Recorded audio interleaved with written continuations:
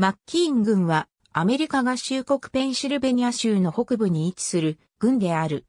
2010年国勢調査での人口は43,450人であり、2000年の45,936人から5.5%減少した。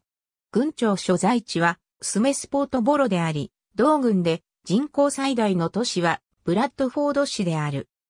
マッキーン郡は1804年3月26日に設立され、郡名はペンシルベニア州知事を務め、アメリカ独立宣言に署名したトマス・マッキーンにちなんで名付けられた。アメリカ合衆国国勢調査局によれば、軍域全面積は984平方マイルであり、このうち陸地982平方マイル、水域は3平方マイルで、水域率は0.26%である。以下は2000年の国勢調査による人口統計データである。マッキーン郡の自治体、ボロは赤、タウンシップは白、国勢調査指定地域は青ペンシルベニア州法の下では4種類の自治体がある。市、ボロ、タウンシップ、町である。国勢調査指定地域はアメリカ合衆国国勢調査局が人口統計データを取るために設定した地域である。州法の下では実際の司法権が及ぶ範囲ではない。村など、その他の未編入領域も下記に挙げる。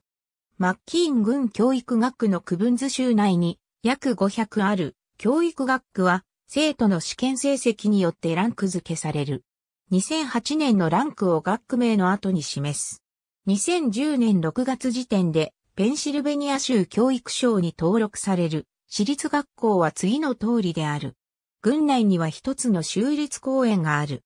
キンズーア橋州立公園はアメリカ国道6号線とペンシルベニア州道59号線の間、マウントジュエット近くのアリゲーニー国立の森東にある。キンズーア橋は建設時に世界で最も高く最長の鉄道橋となった。ペンシルベニア州自然資源保護省とその公園局がペンシルベニア州州立公園の中でぜひとも見るべきもの20カ所の一つに選定し、また歴史的土木資産となっている。2003年の竜巻で大きな損傷を受けた。ありがとうございます。